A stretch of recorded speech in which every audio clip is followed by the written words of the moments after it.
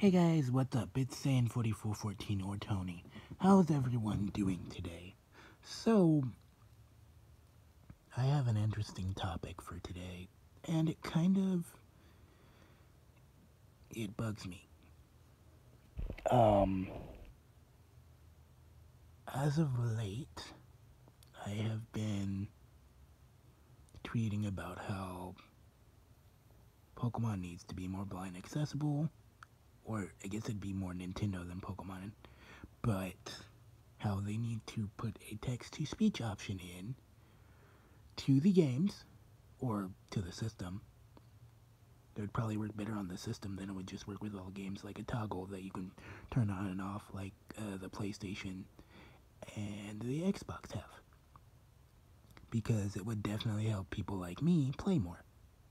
Um, we could do a lot more without visual help um, like all our sighted peers can. My issue is the fact that a lot of people fire back with, oh hey, it's not cost effective, so Nintendo would never do it. And it's just like, Sony did it, Microsoft did it. People will be like, oh, well, Sony and Microsoft did it because it was already implemented into their um, previous um, like software stuff that they were using before it, it crossed over to like PlayStation and Xbox and stuff like that. But cost effective or not, and honestly, I don't buy that. Eh, buy because cost. Anyway, um, I don't buy that because of the fact that more people, you want more people to buy your games in your system. So, putting in something that helps other people would push more people to buy your games in your systems. And it wouldn't hurt the sighted community because it's just a toggle that you can turn on and off at will. Like, like I said, uh, the Xbox and the um, PlayStation both have them, so it's not that big of a deal.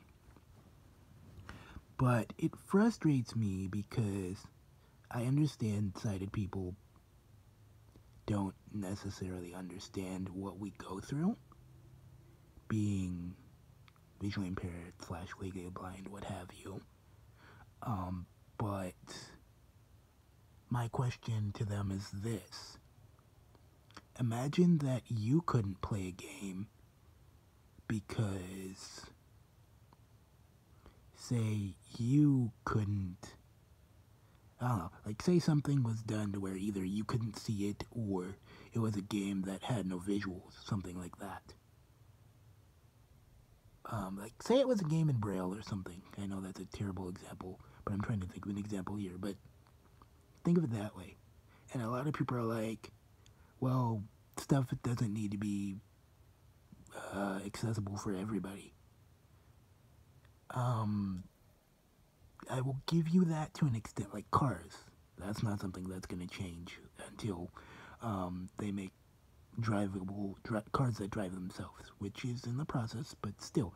I mean, saying that something shouldn't be, it's like saying that, oh, well, we're in the real world, that doesn't mean everything has to be accessible to everybody. No. I get that there's some things that we can't do, that's fine. But telling someone, okay, this doesn't have to be accessible, no, that's not how that works.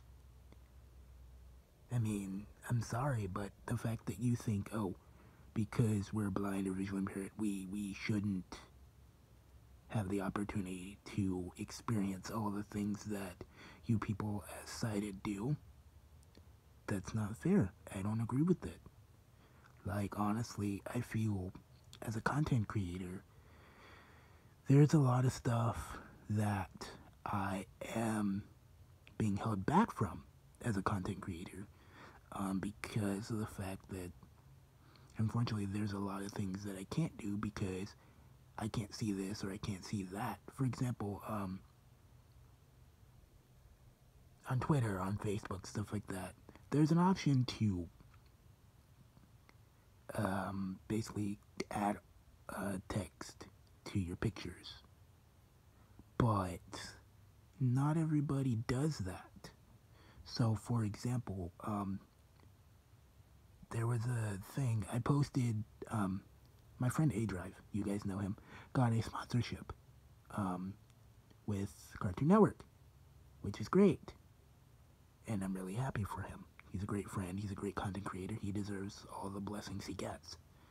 But my issue is, I tried to go to the site. Uh, I downloaded the app, and unfortunately, the app does not work um, with my iPhone. Like, it doesn't work with my screen reader. So it means I can't participate in what they're doing, which sucks for me. And I know, like, a lot of blind people don't necessarily tune into Twitch, but if they did and they tried to do it, they wouldn't be able to either. So yeah, that's another issue. And then I tweeted at uh, him and Cartoon Network and a couple other people about my issue, and they tweeted back a picture.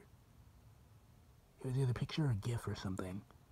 But either way, my phone, once again, it's a image of some sort, so my phone doesn't read that.